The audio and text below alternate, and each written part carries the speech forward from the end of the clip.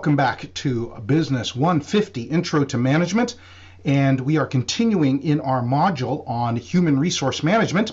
Now, in this particular video, as you can see from the title slide, we're looking at perhaps the most important topic from an employee's point of view compensation. None of us are doing this for free. We have our hobbies. Work is not a hobby. We work for compensation. Compensation, you know, initially we typically think of in terms of financial compensation, but compensation can come in many different forms. We'll talk a little bit about that in this lecture, but generally speaking, that's the very first thing that separates work and employment from a hobby or a pastime. You're expected to put in a full day's worth of work, so to speak. So, how does compensation work? Well, after this video, we hope that you will be able to explain the purposes of compensation systems and the basic steps in setting up these compensation systems. That's really what we're going to be touching on, at least as an overview in this video. So, when we're talking about compensating our employees, we're talking about creating a system. A compensation systems are the basis on which an organization gives money, goods, or services to its employees in exchange for their work. These are intended, obviously, to attract, to motivate, to retain employees and keep them moving forward and engaged with the company.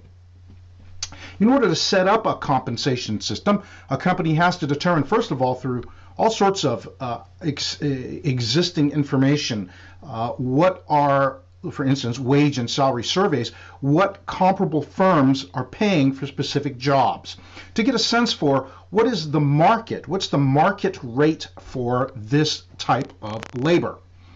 Job evaluation methods afterwards will determine the value of an organization's jobs and arrange these jobs in order of pay according to their value. And so let's just cut right to the chase. Yes, if you are being paid more if a particular role pays more than another role, it is, quite frankly, because there is more value seen in that particular role. Now, that may be a perception of management or an outdated um, evaluation that was made when the company first established those two roles. It may not be true in the practical or realistic sense, but there is a basis for why certain roles in an organization are compensated more than other roles in an organization. That is simply the basis. And then the question is do we need to revisit that evaluation? But first of all, let's talk about establishing the, the range of compensation values for particular jobs. And so, as you see there in the second bullet point, uh, the point being that for most firms, what that means is comparing the market, evaluating what options a willing candidate with the, no, the necessary KSAs, knowledge, skills, and abilities, what would that particular employee be looking at in terms of employee employment options?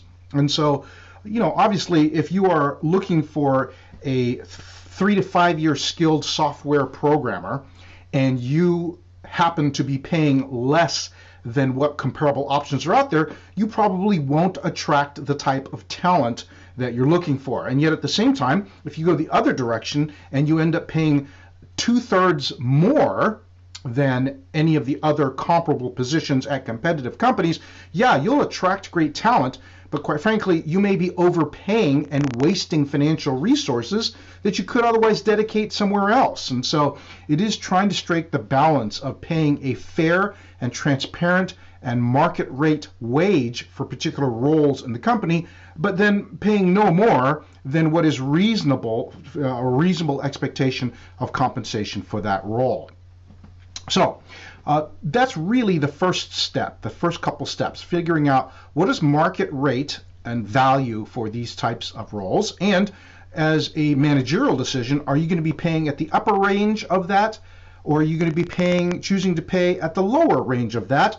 And of course, the answer to that will attract certain types of talent.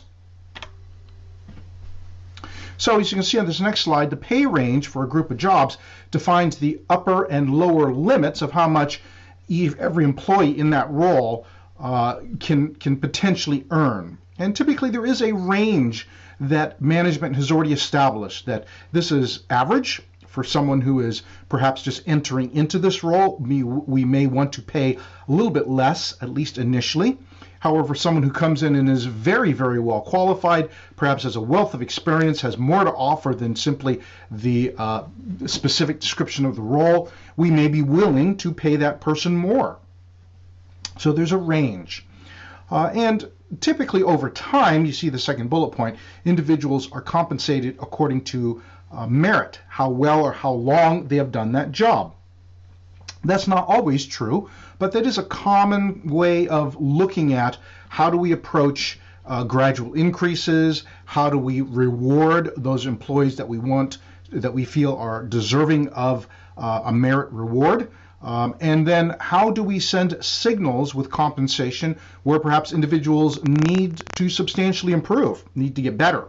Maybe not by uh, punitive measures, but rather by simply withholding uh, um, increases in pay as a signal that while this is possible, we would like you to really up your game before we consider increasing your compensation. Now, you know that employees talk, despite the fact you may set down an edict and a rule and a policy that says we do not want employees discussing their compensation with one another. No matter what you do, people talk. People will find out what other people in their like similar roles are paid, and that's where it pays, so to speak, to be fair and transparent. Know that people will figure out whether other people are getting paid more or less than them, and you want them to be able to perceive that whatever the differences that are going to happen, because there undoubtedly there will be differences in what one person is paid versus another over time, differences will accrue that they want to be able to believe there are fair and transparent reasons for differences in pay. So that will come up in the last video in the series regarding best practices, but that's certainly when we're talking about compensation, you want to be as much as possible transparent, balanced, and fair in establishing how your employees are compensated. Now, there is, of course, uh, the consideration in the third bullet point on this slide, one of the fastest rising costs in organizations are benefits. And you see some of them there. This is not a comprehensive list, of course. Pay for time not worked, or mandatory protection programs, or optional protection programs, or private retirement plans.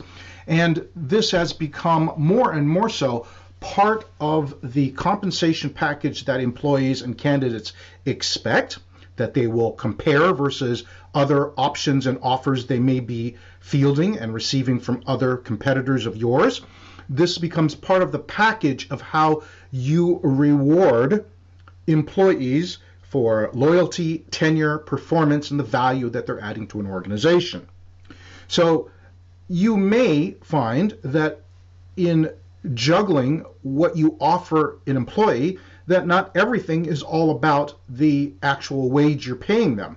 Especially as employees get further along in their careers, other non monetary compens- compensatory factors become more and more important.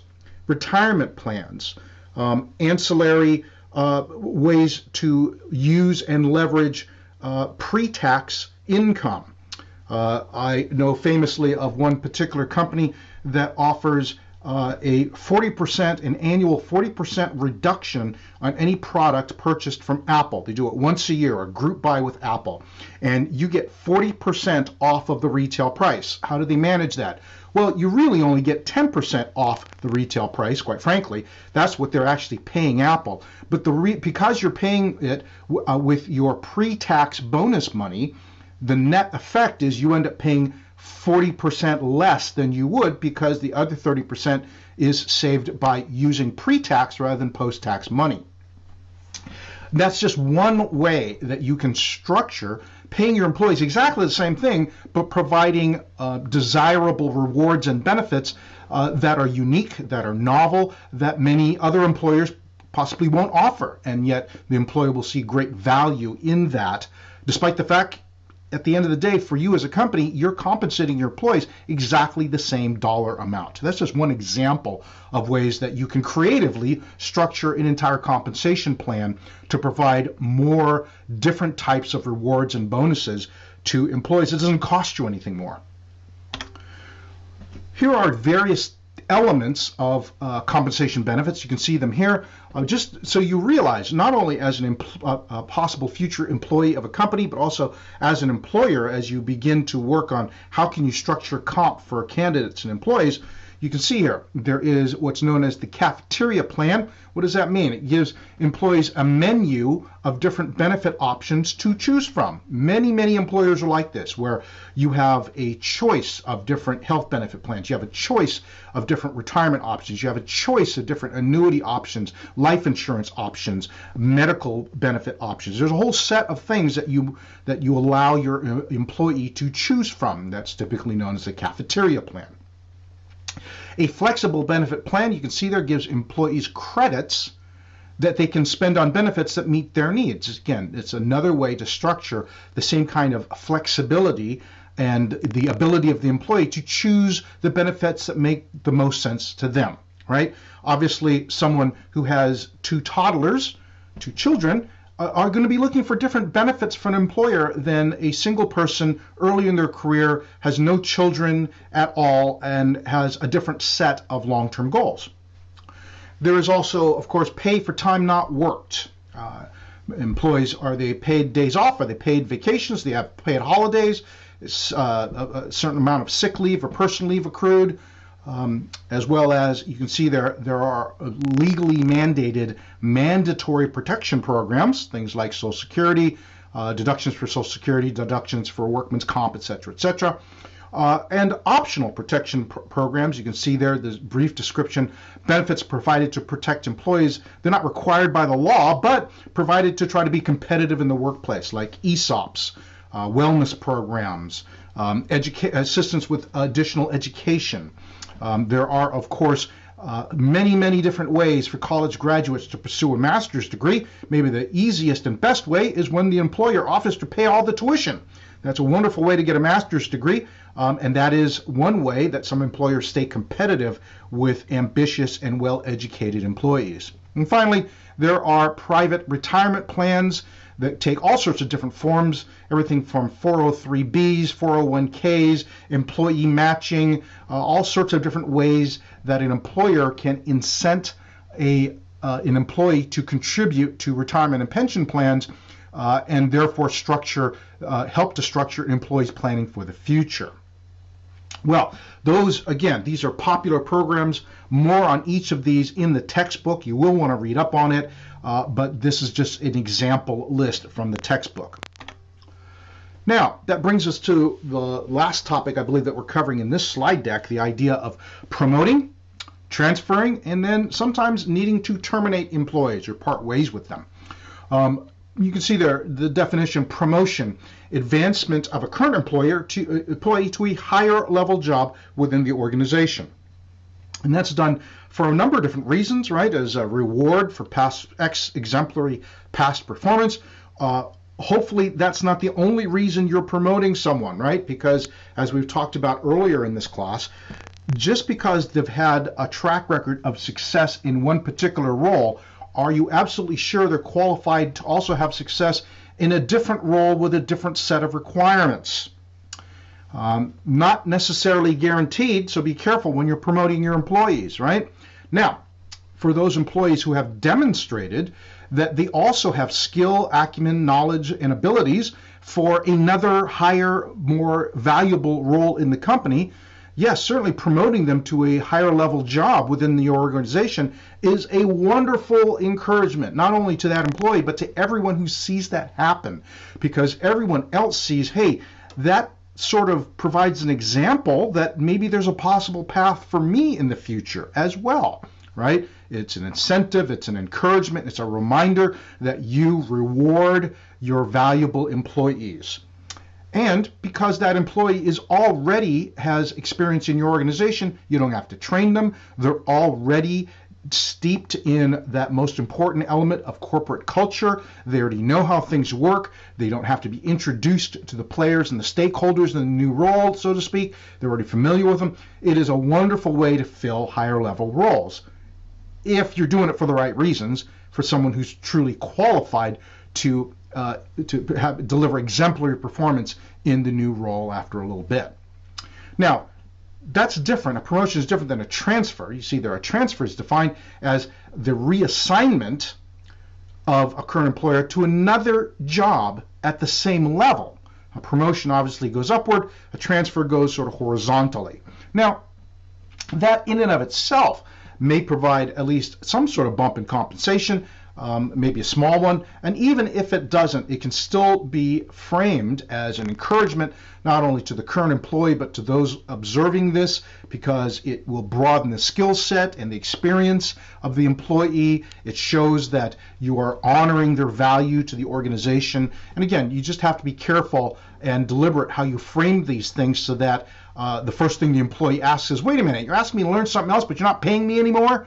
Right? You don't want that question coming up. You want to be able to address this and frame this as a positive move for both the employee and the organization, despite the fact it may not be a promotion to a higher level job.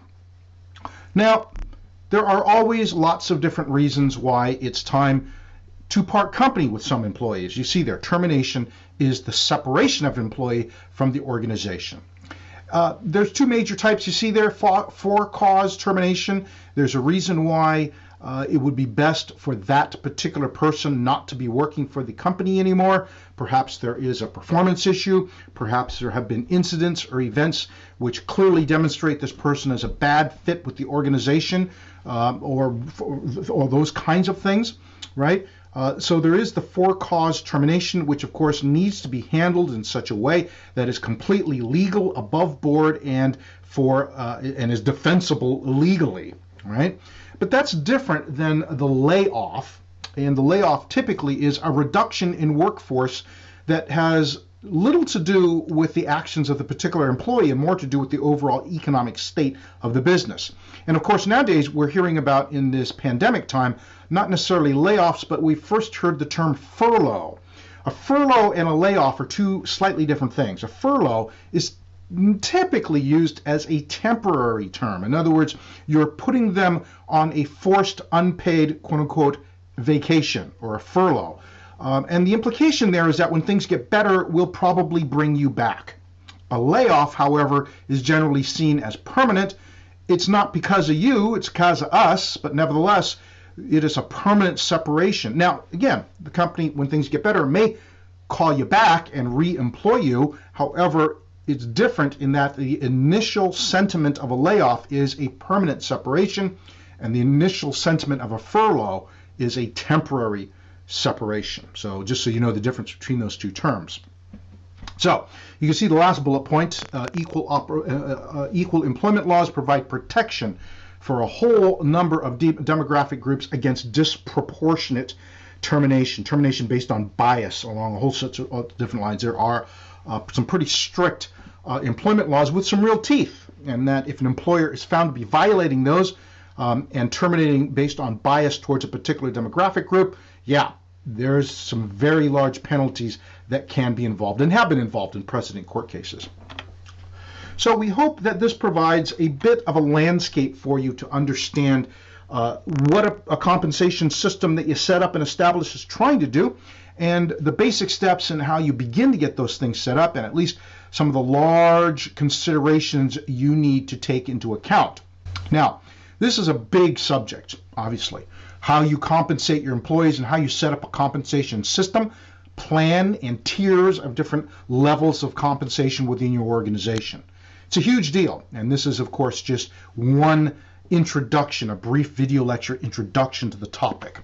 If you eventually, for instance, became a HR uh, major with a four-year degree, you would have an entire track of courses uh, that discuss nothing else but talking about how to build compensation systems and how to do that while uh, complying with uh, federal and state law in this matter. So again, pretty deep uh, uh topic, Uh, and of course, one of the first topics that we really consider when we're job candidates asking about, well, is this a role I fit and what does it pay? So, some things to take seriously. Uh, a lot more to read about this in the textbook, of course. Hope to see you in the next lecture.